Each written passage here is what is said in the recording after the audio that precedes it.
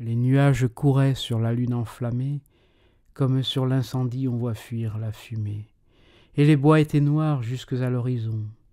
Nous marchions sans parler, dans l'humide gazon, dans la bruyère épaisse et dans les hautes brandes, lorsque, sous des sapins pareils à ceux des Landes, nous avons aperçu les grands ongles marqués par les loups voyageurs que nous avions traqués.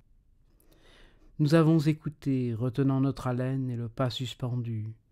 Ni le bois ni la plaine ne poussaient un soupir dans les airs.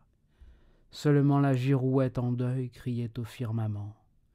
Car le vent élevé bien au-dessus des terres n'effleurait de ses pieds que les tours solitaires et les chaînes d'en bas contre les rocs penchés, sur leurs coudes semblaient endormis et couchés. Rien ne bruissait donc, lorsque, baissant la tête, le plus vieux des chasseurs qui s'était mis en quête à regarder le sable en s'y couchant. Bientôt, lui que jamais ici on ne vit en défaut, a déclaré tout bas que ces marques récentes annonçaient la démarche et les griffes puissantes de deux grands loups cerviers et de deux louveteaux. Nous avons tous alors préparé nos couteaux, et cachant nos fusils et leurs lueurs trop blanches, nous allions pas à pas en écartant les branches. Trois s'arrête, et moi, cherchant ce qu'il voyait, j'aperçois tout à coup deux yeux qui flamboyaient, et je vois au-delà quatre formes légères qui dansaient sous la lune au milieu des bruyères, comme font chaque jour à grand bruit sous nos yeux quand le maître revient les lévriers joyeux. Leur forme était semblable et semblable la danse, mais les enfants du loup se jouaient en silence, sachant bien qu'à deux pas, ne dormant qu'à demi, se couche dans ces murs l'homme, leur ennemi. Le père était debout et plus loin contre un arbre, sa louve reposait comme celle de marbre qu'adoraient les Romains, et dont les flancs velus couvaient les demi-dieux Rémus et Romulus. Le loup vient et s'assied, les deux jambes dressées, par leurs ongles crochus dans le sable enfoncé. Il s'est jugé perdu puisqu'il était surpris, sa retraite coupée et tous ses chemins pris.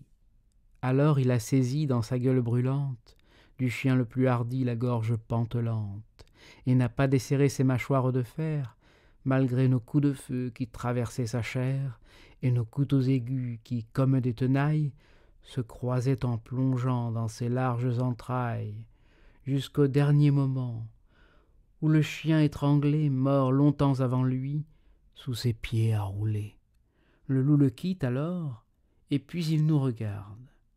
Les couteaux lui restaient au flanc jusqu'à la garde, le clouait au gazon tout baigné dans son sang. Nos fusils l'entouraient en sinistre croissant. Il nous regarde encore, ensuite il se recouche, tout en léchant le sang répandu sur sa bouche, et sans daigner savoir comment il a péri, refermant ses grands yeux, meurt sans jeter un cri. J'ai reposé mon front sur mon fusil sans poudre, me prenant à penser, et n'ai pu me résoudre à poursuivre sa louve et ses fils qui, tous trois, avaient voulu l'attendre, et comme je le crois, sans ces deux louveteaux, la belle et sombre veuve ne l'eût pas laissé seule subir la grande épreuve mais son devoir était de les sauver, afin de pouvoir leur apprendre à bien souffrir la faim, à ne jamais entrer dans le pacte des villes que l'homme a fait avec les animaux serviles, qui chassent devant lui pour avoir le coucher les premiers possesseurs du bois et du rocher.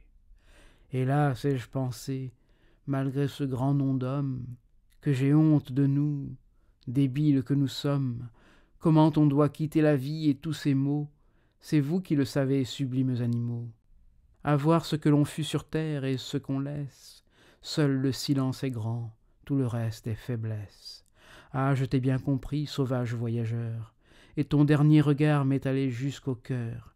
Il disait, si tu peux, fais que ton âme arrive à force de rester studieuse et pensive, jusqu'à ce haut degré de stoïque fierté où, naissant dans les bois, j'ai tout d'abord monté. Gémir, pleurer, prier, est également lâche.